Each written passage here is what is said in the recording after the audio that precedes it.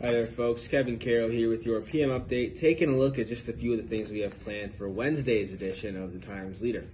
A Larksville man snarled by Musa Harris, the self-proclaimed Luzerne County predator catcher, in an online child sex solicitation sting, was sentenced to state prison on Tuesday. Ed Lewis will have the details for you.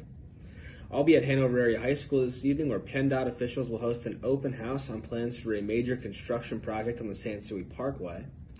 Mark Guydish will be covering the Pittston Area School Board where plans to add classrooms to the primary center are on the agenda and we'll take you inside the Times Leader test kitchen where Mary Therese Biebel is cooking up a platter full of tangy lemony chicken schnitzel.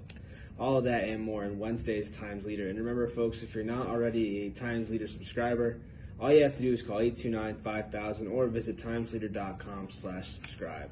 Uh, that's all for now, folks. Thanks for watching. Have a great day.